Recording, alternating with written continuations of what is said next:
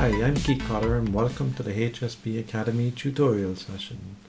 In this session we're going to learn how to install your new hsbDesign V24. So let's get stuck in.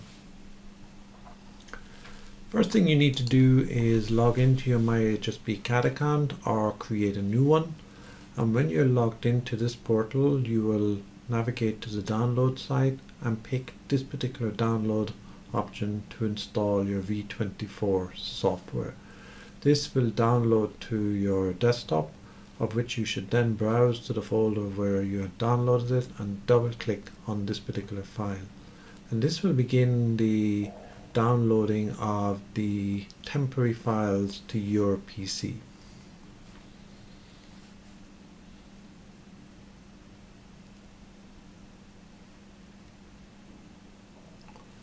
Once this is done, the initialization of the startup dialog will begin. The first thing you do is you select the region so that it downloads the local content relevant to your area you pick your language and you also pick the profile that you want loaded in AutoCAD for hsbcad. And if you have an existing company folder, you do not need to select this option. Otherwise, you do select it if you want a new company folder installed. You pick accepting the terms and conditions and then you hit install and this begins a series of dialog where it will begin the installation of your software onto your PC.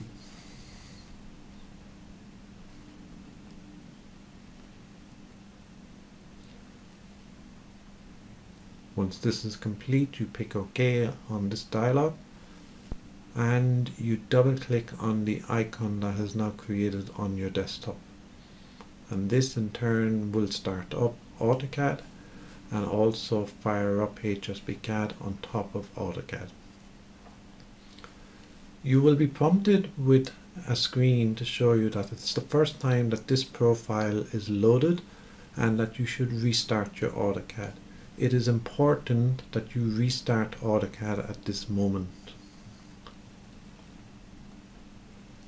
I restart my AutoCAD once more. This once more fires up AutoCAD and also fires up hsbcad on top of AutoCAD.